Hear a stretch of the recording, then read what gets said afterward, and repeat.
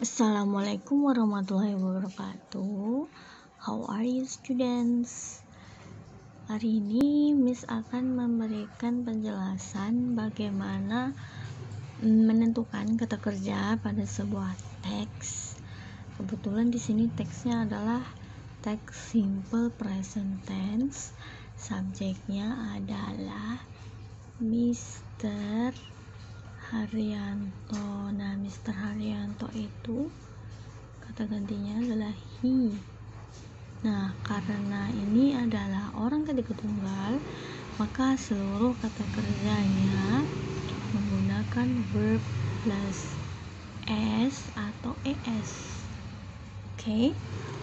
Jadi yang mana saja kata kerjanya? Yang pertama adalah Mr. Haryanto usually gets up. Nah, ini adalah kata kerja ya. Kata kerja itu terletak setelah subjek. Ini dia namanya adalah adverb of frequency. Ini adalah verbnya. Verbnya itu pakai s. Oke, nah di kalimat kedua uh, subjeknya he. Ini usually adalah adverb of frequency. Artinya biasanya has juice. Has juice. Has juice ini artinya memiliki bukan artinya memiliki jus ya.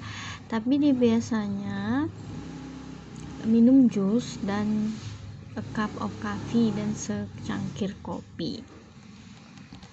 Nah kalau pagi biasanya gitu ya Mr. Haryanto tuh kalau pagi bangun jam 5 kemudian dia kadang minum jus atau segelas kopi, secangkir kopi Oke, nah e, dalam penjelasan sebelumnya bahwa mm, teks simple present tense itu pasti dia yang dibahas adalah tentang kebiasaan atau habitual action atau sebuah rutinitas.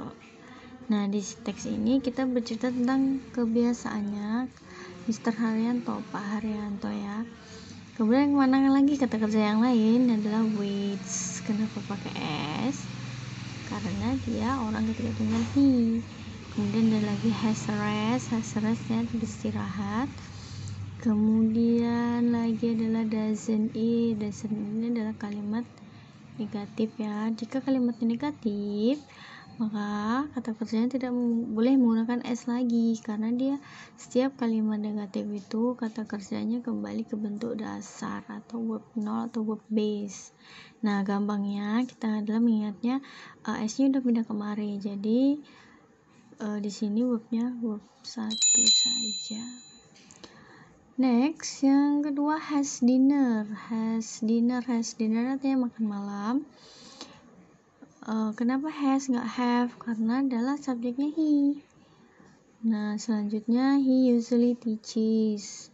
Teaches memakai es kenapa? Karena kata teach itu berakhir dengan huruf ch maka harus ditambah es. Selanjutnya juga teaches nah doesn't not teach. Di sini nggak boleh pakai es ya ini salah cetak. Jadi kalau kalimat negatif itu kata kerjanya harus verb base atau verb nol selanjutnya kata kerjanya adalah he likes. Ini pakai s ya. Kemudian sit and read. Kenapa ini nggak pakai s miss? Karena ini diikuti dengan kata to. To itu selalu diikuti dengan verb base atau verb nol jadi nggak pakai s di sini. Oke nah selanjutnya does uh, what ini enggak ya.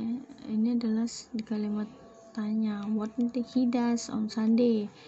Uh, terus catch up kata kerja lain tuh catch up does not read ini kalimat negatif. She reads and catches oke. Okay. uh, semoga dalam video ini bisa membantu kalian mengerjakan PR menentukan kata kerja pada sebuah teks Terima kasih.